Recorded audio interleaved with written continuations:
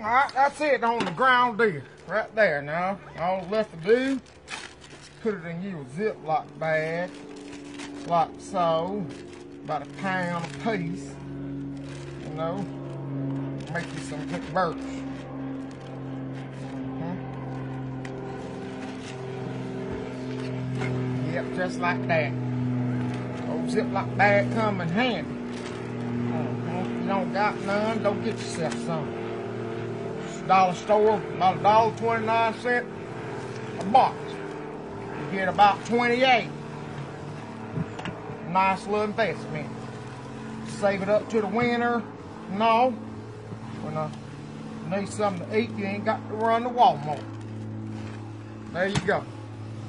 Ground beef.